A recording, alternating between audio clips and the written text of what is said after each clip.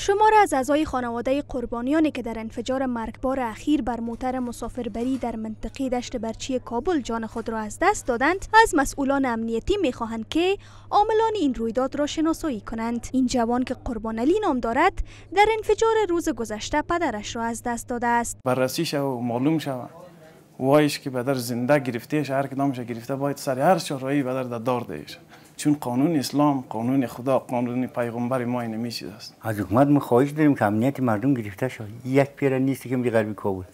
این چند پیر است؟ همزمان با این سخنگوی فرماندهی امنی کابل می‌گوید که عاملان این رویداد را بازداشت و به کیفر خواهند رساند. خالد زدران به مردم اطمینان می‌دهد که تمامی منصوبان در راستای تامین امنیت سر و مال مردم خود را مسئول می‌دانند. د دوی پر وړاندې موږ ډیر جدي یو. لکه څه ډول چې پخوا نیولي دي او د قانون منګولې ته مسپارلي دي لا له منځه وړي دي. همدغه ډول به دغه مسولین یا دغه جنایت چې ترسره کړی دی دغه کسان به هم نیسو د قانون منګولې ته به سپارو. بر بنیاد معلومات فرماندهی امنی کابل انفجار روز گذشته برخواسته از ماین بوده که در موتر مسافربری مرسیدیز جاسازی شده بود و در این انفجار یک تن جان باخته و به شمول سه زن یازده تن دیگر زخمی شدند.